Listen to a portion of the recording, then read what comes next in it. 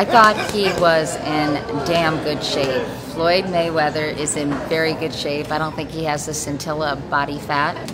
Obviously, he's got extraordinary endurance and is really graceful too.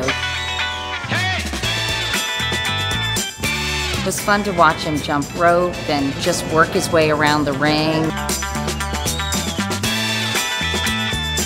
Guy can hit too. Yikes. I think it was cool how so many people were just gathered around like it was a, you know, a rock star and they were at a concert just watching him in, in action.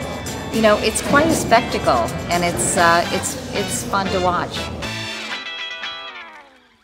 Right, put that up. I've always thought I have a pretty good hit, but I obviously am not quick enough. Okay, right there.